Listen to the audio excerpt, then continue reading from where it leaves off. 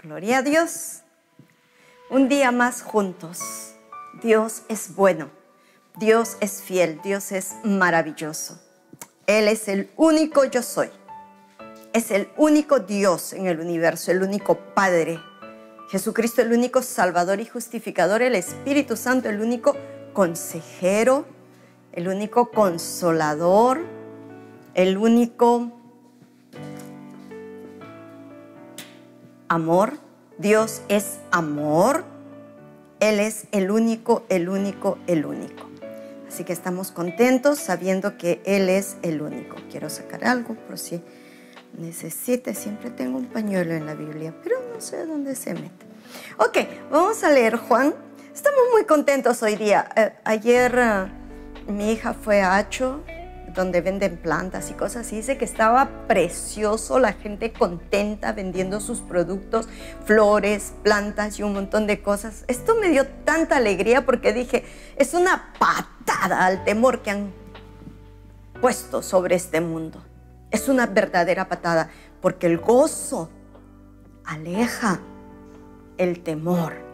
La risa aleja el temor. Miren, no sé ahora cómo será, Estoy hablando del tiempo de cantinflas, de los tres chiflados. Algunos eh, les detectaban cáncer y les decía, vaya a su casa a reírse todo lo que pueda. Tiene una semana, dos de vida. Así que tiene una o dos semanas para reírse. Después de ese tiempo, estaban sanos. El gozo, la risa, la alegría. Así que ayer yo estaba muy contenta. Me imagino que en muchos lugares que ha habido ventas por el Día de los Enamorados, por el Día del Amor, por el Día de la Amistad, por el Día XYZ, oh, eso estuvo bueno. Me gusta. Cuando yo supe que acá, ese lugar llamado Hacho, lo habían cerrado. Y una mujer que vende algunos productos a mi hija, cuando ella la llamó, se puso a llorar, me dio tanta, tanta, tanta tanto coraje. Oré y dije que se abra ese lugar en el nombre de Jesús. Tanta gente que vende ahí, tanta gente que saca su vida de ahí, su dinero de ahí, porque el dinero es vida. Ok, vamos a Juan. El Evangelio de Juan dice así. Desde el 1 lo voy a leer. En el principio era el verbo y el verbo era con Dios y el verbo era Dios. Esto es, en el principio era Jesús, la vida, la luz. Y la vida, la luz era con Dios y la vida, la luz era Dios. Ellos son uno. Este era en el principio con Dios, todas las cosas por Él fueron hechas y nada, y sin Él nada de lo que ha sido hecho fue hecho. Mm, me gusta esto. Un ratito vamos a ir a, a Hebreos, Hebreos, Hebreos, Hebreos. Hebreos 1, 3 dice, bueno, el 2. En estos postreros días nos ha hablado por el Hijo, por el Verbo, por la vida, por la luz, a quien constituyó heredero de todo y por quien asimismo hizo el universo.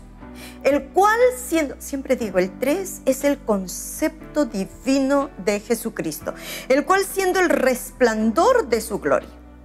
El verbo, la luz, la palabra, Jesucristo, es el resplandor de la gloria de Dios y quien sustenta Él, Jesucristo, sustenta todas las cosas con la palabra de su poder. ¿Qué me puede pasar hoy día? Oh no, este es un día malo. Cállate la boca, córtate la lengua. Este es un buen día. Hoy este día es sostenido, el universo completo. Y yo que soy un puntito de este universo, sostenido por la palabra de su poder, de su potencia. Habiendo efectuado la purificación de nuestros pecados por sí mismo, se sentó a la diestra de la majestad en las alturas, hecho tanto superior a los ángeles, por cuanto heredó más excelente nombre que ellos. Este era en el principio. ¿Quién? Jesucristo, la vida, la luz. Este era en el principio con Dios. Todas las cosas por Él fueron hechas. Y sin Él nada de lo que ha sido hecho fue hecho. Leímos ya Hebreos. En Él estaba la vida y la vida era la luz de los hombres. La luz en las tinieblas resplandece y las tinieblas no prevalecieron contra ella. Pensemos un poquito en algo natural, en algo que está muy cerca de nosotros. Entramos en una habitación que está oscura, ponemos el dedo en el switch, on, préndete. ¿Qué sucede? La luz es hecha, las tinieblas se van. Cuando tú hablas la palabra, cuando tú hablas la vida de Dios, cuando tú sueltas, o sea, lo que tú, de pronto un día tú tienes que hacer la prueba contigo. Voy a poner el dedo en el switch de tu corazón y en el switch de tu boca para soltar la palabra, la palabra de vida, la luz que puede venir a ti y que puede hacer ñicos las tinieblas. Tinieblas de que de enfermedades, de dolores, qué pena para con los cristianos que tengan que decir esto, pero para con muchos, ¿ok? Enfermedades, dolores, escasez, pobreza, temor, culpa, condenación, dolor y un montón de cosas. La luz en las tinieblas resplandece y las tinieblas no prevalecieron. No pueden ir contra la luz, no pueden subir sobre la luz. Hubo un hombre enviado de Dios, el cual se llamaba Juan este vino por testimonio para que diese testimonio de la luz a fin de que todos creyesen. Vamos sobre un ratito sobre la palabra creer. Para que todos creyesen. Por él. No era él la luz, sino para que diese testimonio de la luz. Aquella luz verdadera que alumbra a todo hombre venía a este mundo. en el mundo estaba y el mundo por él fue hecho. Hemos leído Hebreos 1.3. Pero el mundo no le conoció. A los suyos vino, a Israel, y los suyos no le recibieron. Más a todos los que creen. No, más a todos los que le recibieron. Me gusta el creer. Más a todos los que le recibieron. Hasta donde yo he leído la Biblia, encuentro solo dos lugares que dice algo de recibir respecto a Jesús. Pero en todo el resto de la palabra de Dios, en toda la magnitud del universo de la palabra de Dios, dice creer, creer, creer, creer, creer, creer. Y Jesús dijo, al que cree, todo le es posible. Wow. Entonces dice, más a todos los que le recibieron. No se queda ahí, a los que creen en su nombre. Les dio potestad, poder de ser hecho hijos de Dios. Mira, no eres un hijo de Dios, no eres un abrupto, no eres producto del bim, del, bim bam, big bang, ¿qué cosa es eso? No, tú no eres producto de la evolución, tú eres producto del poder de Dios. Más a todos los que le recibieron, porque viene del 11, bien enseñado. Más a los suyos vino los suyos no le recibieron, mas a todos los que le recibieron, eso es otro nivel, otro nivel, a los que creen en su nombre, les dio potestad, poder, potencia, fuerza, energía, de ser hechos hijos de Dios. Y el siguiente versículo está explicando esa potencia, ese poder. Los cuales no son engendrados de sangre, ni de carne, ni de voluntad de varón, sino de Dios. Somos engendro de Dios. ¿De qué manera? Estábamos en las tinieblas. Fuimos trasladados de las tinieblas a su luz, a su vida, a su amor, a su divinidad admirable. Soy una hija de Dios. Alguien me hacía una pregunta porque envié un mensaje de, de Joel Osteen. Oh, estaba buenazo lo que escuché. Y me dice, Terminé de oírlo. Podría decir muchas cosas. Solo diré excelente, buenísimo. La pregunta es, ¿cuándo conocemos a nuestro Padre Celestial? Gracias. Y yo rápidamente tomé conexión con el Espíritu Santo y le puse, cuando eres uno con Él. Las diferencias terminaron. Eres partícipe de su naturaleza divina. Tienes de divino en ti. ¡Wow! Si cada mañana yo me levanto y entiendo que soy participante de la naturaleza divina, que no soy un simple ser humano cualquiera de esta tierra, que no soy un engendro humano. No sé por qué me gusta la palabra engendro. No sé si a ustedes les parece muy fuerte, muy duro, muy no sé qué. Que no soy un, simple engendro humano que ha sido engendrada de la voluntad de Dios. ¿Por qué? Romanos 10, 17. Cuando oí la palabra, la palabra vino por el oír la palabra de Dios, la fe nació en mí. La fe viene por el oír, el oír, el oír la palabra de Dios. Cuando la fe, la fuerza, la energía de Dios, porque fe es eso, viene dentro de mí, dentro de mí se levanta una osadía para confesar lo que dice Romanos 19. Jesucristo es mi Señor. Creo que Dios Padre, ahí está el creo. Creo que Dios Padre lo levantó de los muertos. Confieso para salvación, creo para justificación. Justa y salva. Me paso a segunda de Corintios 5:17. De modo que si alguno está en Cristo, nueva criatura es. Es un nuevo engendro. No de la raza humana, no de hombre, de Dios. Nueva criatura es. Las cosas viejas pasaron y aquí todas son hechas nuevas. ¿Dónde soy nueva criatura? Y la semana pasada me quedé en algo que iba a explicarles del alma. ¿Dónde soy nueva criatura? En mi espíritu. ¿Por qué? Porque Adán y Eva, la primera pareja creada por Dios, el primer hombre, el primer Adán, me dejó a ti y a toda la humanidad muertos espiritualmente. No había... ¿Qué es muerto? No es... Lo enterraron a su espíritu en un ataúd y lo metieron bajo tierra. No, muerto es no tener Dios no, que no hay una relación, una comunión con Dios. Perdieron su relación, su comunión con Dios. Eso es muerte espiritual. Es como que alguien, Dios mío, me vienen un montón a la mente. Alguien muere en esta tierra, su cuerpo se separa de su espíritu sea espíritu muerto, y su alma, o sea, espíritu vivo en Dios, y su alma y su cuerpo va a la tierra, separado completamente. ¿Qué es muerto? Separado de Dios. ¿Qué es nuevo nacimiento?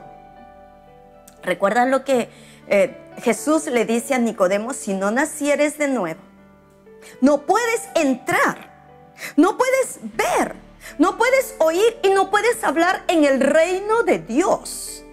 Porque en ese reino el Espíritu de Dios se mueve de tal manera que tú no sabes de dónde viene ni a dónde va.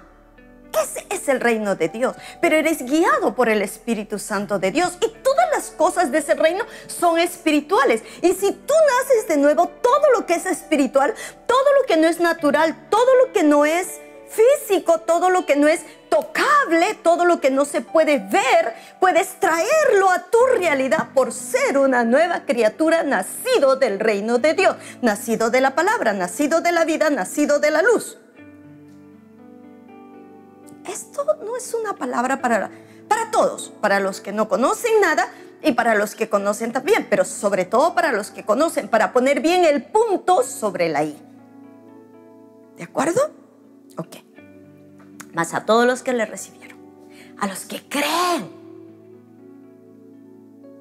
Yo tengo toda la impresión del Espíritu Santo que el versículo 11 termina en más a todos los que le recibieron. Y empieza un nuevo, un, un nuevo nivel. Empieza una nueva altura a los que creen en su nombre. Y estamos, y nos dicen creyentes, me gusta. Nos dicen creyentes porque creemos en Cristo. Nos dicen cristianos porque somos de Cristo. Hermoso. Bien. Espíritu estábamos muertos. Cuando escuchamos la palabra, el Espíritu Santo comenzó a trabajar en nosotros. Dice Juan 16, 8 por ahí. A ver, lo vemos un ratito. Ay, es 16, 8 o o cuál. Cuando Él venga, dice del Espíritu Santo, es que Jesús está prometiendo algo. Pero yo os digo la verdad. ¿Os conviene que yo me vaya? Porque si no me fuere el consolador no vendría. Estoy en el 16.7, voy al 8. Luego, a vosotros. No, no vendría a vosotros. Si me fuere, os lo enviaré. O sea, si yo me voy, el Espíritu Santo es enviado.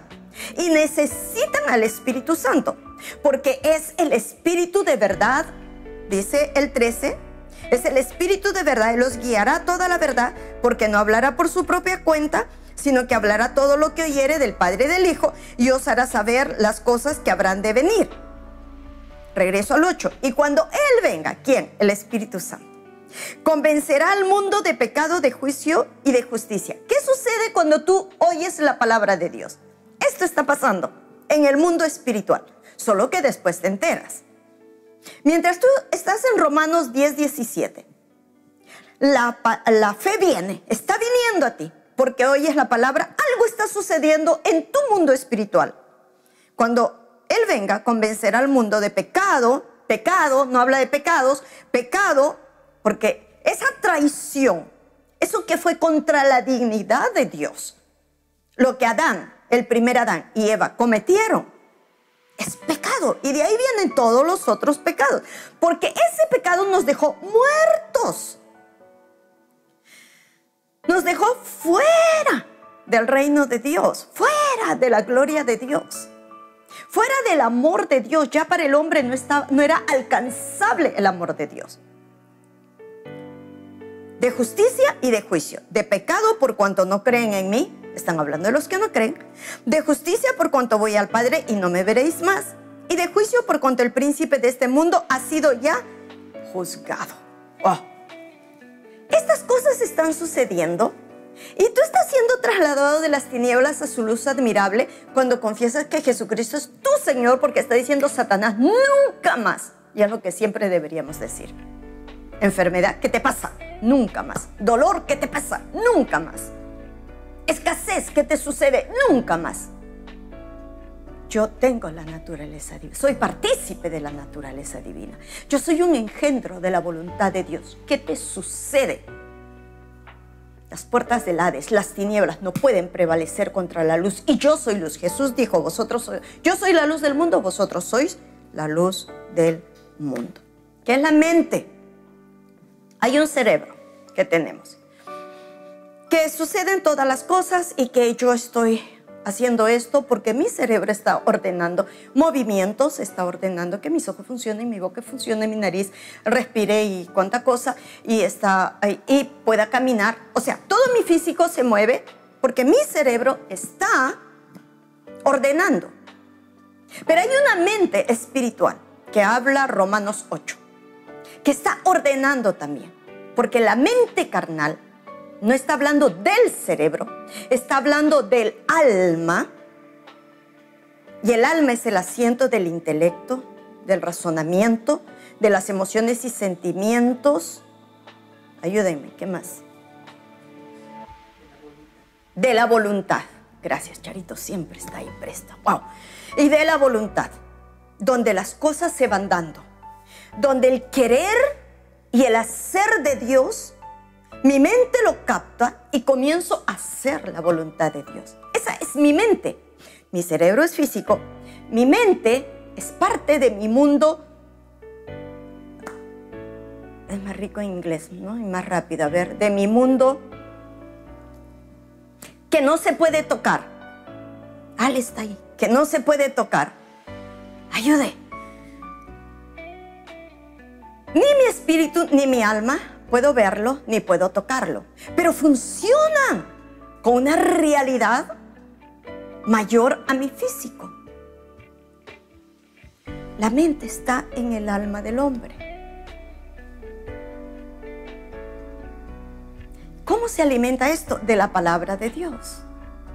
¿De qué se llena esto? De la palabra de Dios o del mundo. ¿Qué hago? Me lleno del mundo, de las noticias, de las barbaridades, o me lleno de la palabra de Dios. La medito. ¿Dónde la medito? En mi alma, con mi espíritu, mi espíritu enganchado al Espíritu Santo. Es toda una cadena hermosa en lo sobrenatural donde yo puedo meditar la palabra de Dios. Y esa palabra produce fruto y mucho fruto. Esto se multiplica, se fructifica. Y yo aprendo mi mente comienza a entender el poder, la potencia, la energía de Dios y comienzo a vivir en un, en un nivel diferente, en una altura diferente, en una dimensión diferente. Cuando mi mente entiende, mi cerebro está dando órdenes a mi cuerpo físico. Mi cerebro debería ser ordenado por mi mente espiritual también. Mi cerebro puede decir, la pierna derecha duele y mi mente decir, debe decir, la palabra de Dios dice que no hay dolor para ti. Que Jesucristo se hizo varón de dolores, experimentado en quebranto por ti. Eso no lo va a decir mi cerebro, eso lo va a decir mi mente espiritual. El cuerpo es esto que nosotros vemos. ¿Qué es lo que falta? Ser glorificado. Un día que Cristo venga y nos vayamos con Él, este cuerpo va a ser glorificado para poder entrar en el cielo, tal como el cuerpo físico de Jesús tuvo que ser glorificado para subir y entrar al cielo y sentarse a la diestra del Padre. Aunque legalmente estamos sentados, Efesios 2, 6, por ahí, estamos sentados juntamente con Cristo en los lugares celestiales, hay un momento que no va a ser legalmente, sino va a ser vitalmente, cuando subamos juntamente su iglesia, juntamente con Jesucristo. Bien, espíritu, alma y cuerpo. ¿Cómo está tu espíritu? Vivo completamente. ¿Cómo está el espíritu de uno que no conoce a Cristo? Muerto, muerto, muerto. ¿Qué es muerto? Separado de Dios. ¿Qué es vivo? Viviendo para Cristo, moviéndote en Cristo. Vimos la semana pasada tres actitudes hacia la sanidad. Cada vez yo creo que este tiempo la sanidad se desarrolla más, más, más y mucho más. Yo hubiera querido copiar algo de Instagram. No sé cómo se copia de Instagram. ¿Se puede copiar un mensaje? No lo sé. He tratado ya de varias formas. Lo envié a Pastor Sarruk, lo envié a Lázaro, pero no sé si lo recibieron. Según yo, lo envié. ¿A dónde? No sé porque yo mismo no encontré ese lugar. Me da risa la tecnología. Pero el hermano Kenneth Copeland daba un saludo de amor a la familia del apóstol Frederick Price. La hija le envió un mensaje diciéndole, he's se fue, se fue de este mundo. Cuando yo supe que él estaba mal, en verdad, ¿cómo diríamos? Es como entra un terremoto y sabe que no estás firme. La tierra se está moviendo. Algo, un terremoto entró en mí.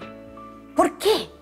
Yo nunca conocí a este hombre, nunca conocí a este varón de Dios, a este hermano en Cristo.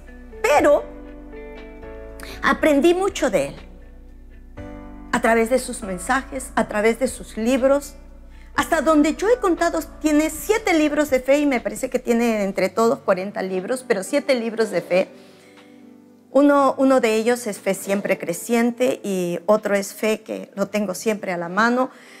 Entonces enterarme que un hombre de fe está enfermo, es como que tú vas por la pista con tu auto y un camión te choca.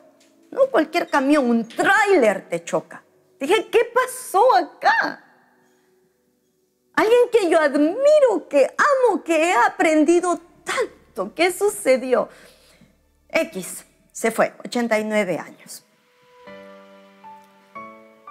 Y anoche leía un mensaje de, porque hermano Kenneth Copeland lo anunció, y anoche volví a leer sobre él, donde dice, la hija me dijo que se fue.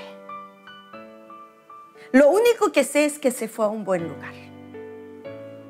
Acaba de encontrarse con sus eh, mentores o pastores, Kenneth Hagan, Oretta Hagan, Oral Roberts, Evelyn Roberts, y muchos otros más. Me imagino que él pensó, wow, acá está em, uno que escribe de sanidad también, y muchos otros. Pero después de un párrafo largo de quienes se encontró, dice, y se encontró con Abraham, nuestro padre. nuestro padre de la fe, de quien la palabra dice que sigamos sus pisadas. Wow. No puedo negar que de alguna manera alentó mi corazón saber que se fue a un lugar tan hermoso, tan precioso. Pero yo no quiero que la gente se vaya así. No sé si soy la única. Yo quisiera que todos los hijos de Dios se vayan bien, como se fue hermano Kenneth Hagan. Bueno, el día que yo sé que me voy a ir, voy a tomar un cafecito, voy a decir a mi esposa que me estoy yendo Iré a mi sillón o a mi cama, me sentaré o me recostaré y me iré. Planificado. Yo quiero irme cuando Cristo venga, porque viene pronto, planificado. Pero no quiero que ningún hermano mío, ninguno que cree en Cristo, se vaya enfermo, doliente. Es mi corazón, es mi deseo. Y me duele saber que muchos se van así. No se vayan así. Yo ponía a un pastor amigo, ¿cómo me gustaría que me llamen? No son ínfulas, no es soberbia ni nada. Me gustaría que me llamen para poder orar por ellos, para poder recordarles, para poder refrescarles la palabra. Él me decía, es que usted tiene sanidad metida en los huesos. Por eso, ya que lo tengo hasta los huesos, deberían llamarme. ah, riéndome un poco, bromeando un poco. El primer punto que vimos en las tres actitudes fue una actitud que enseña que la sanidad no es para nosotros. Un nuevo nacido, como lo hemos visto, un hijo de Dios, un engendro de Dios, un hijo de la luz, trasladado de las tinieblas donde está la enfermedad, la dolencia, la escasez, la pobreza, la condenación, la culpa, el temor, los complejos de inferioridad y superioridad, y se fue al nivel de Dios, un engendro de Dios, una nueva criatura. No puede, pues, decir que no existe la sanidad, porque el día que se convierte en una nueva criatura, como les hablé del espíritu completamente unido a Dios, se queda sano para siempre.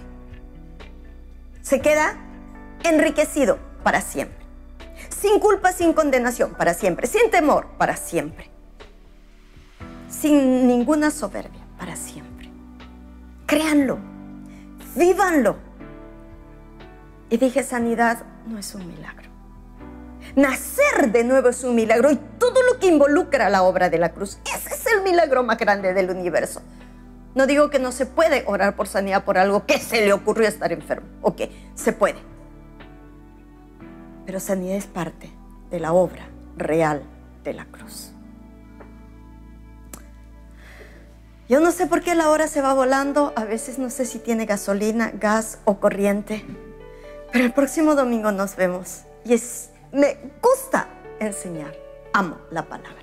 Tengan una semana sobrenatural. Les amo.